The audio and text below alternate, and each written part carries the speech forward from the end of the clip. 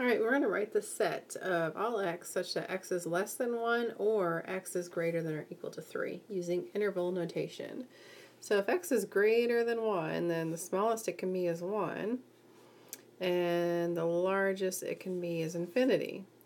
Since there's no equal to um, there underneath the, the less than sign, oh, I'm sorry, I read that wrong. It's x is less than 1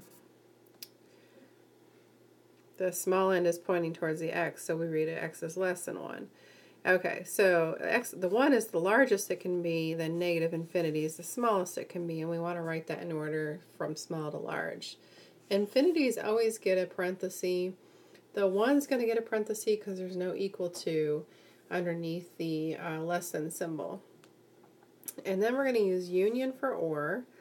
And greater than or equal to 3, we need a bracket here because now we're including 3, comma, um, so it's greater than or equal to 3, meaning it's 3 or greater. So 3 up into infinity, and again, we always put a parenthesis around infinity.